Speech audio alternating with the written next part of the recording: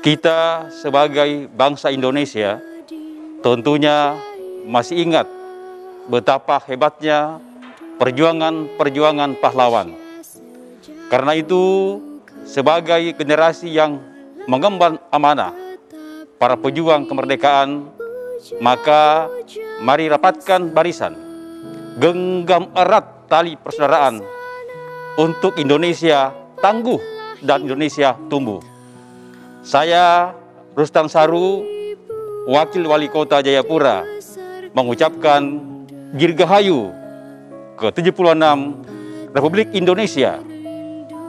Ayo di masa pandemi ini mari kita lawan COVID-19 untuk kota Jayapura yang sehat dan Indonesia yang tangguh menuju PON 20 Papua tahun 2021. Hente Cahi, Yeonomi Temarni Hanaset. Satu hati membangun kota untuk kemuliaan Tuhan. Wani Ambei dan Merdeka.